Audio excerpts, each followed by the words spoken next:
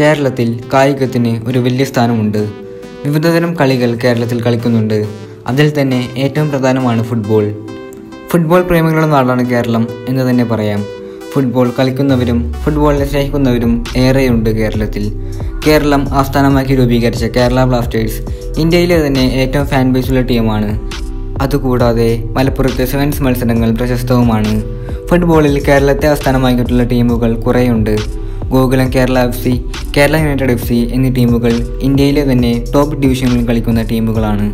Cricket volleyball hockey badminton athletics kabaddi എന്നീ ഇനങ്ങൾക്കും കേരളത്തിൽ ആരാധകരുണ്ട്.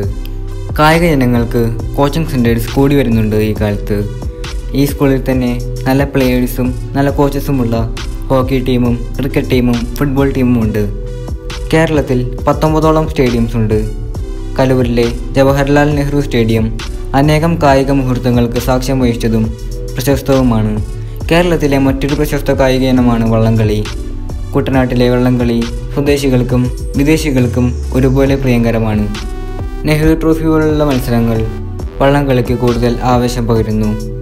Lieutenant colonel P R Godavarma Raja Indian sports and tourism പ്രൊമോട്ടറും അഡ്മിനിസ്ട്രേറ്ററും pilot sportsman സംസ്കൃതത്തിൽ പണ്ഡിതനുമായിരുന്നു.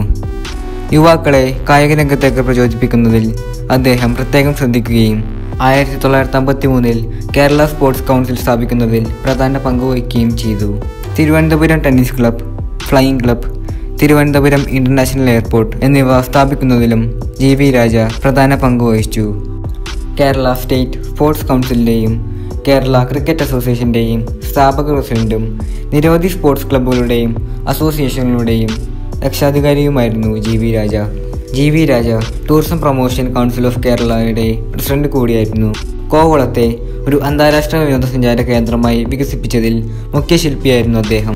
P R Godavarma രാജ ആയിരത്തി തൊള്ളായിരത്തി എട്ട് ഒക്ടോബർ പതിമൂന്നിന് കേരളത്തിലെ കോട്ടയം ജില്ലയിലെ പൂഞ്ഞാറിൽ പൂഞ്ഞാർ രാജകീയ ഭവനത്തിൽ പൂഞ്ഞാർ രാജവംശത്തിൽപ്പെട്ട അംബാലിക തമ്പുരാട്ടിയുടെയും ഭർത്താവ് പുതുശ്ശേരി നാരായണ നമ്പൂതിരിയുടെയും മൂന്നാം മകനായി ജനിച്ചു. ആയിരത്തി തൊള്ളായിരത്തി എഴുപത്തൊന്ന് ഏപ്രിൽ മുപ്പതിന് കുളൂർ താഴ്വരയ്ക്ക് സമീപം നടന്ന ഒരു വിമാനാപകടത്തിൽ അദ്ദേഹം മരിച്ചു.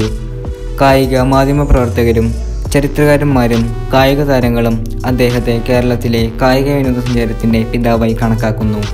ജി വി രാജയുടെ ജന്മദിനമായ ഒക്ടോബർ പതിമൂന്നിന് കേരള കായിക ദിനമായി ആചരിക്കുന്നു.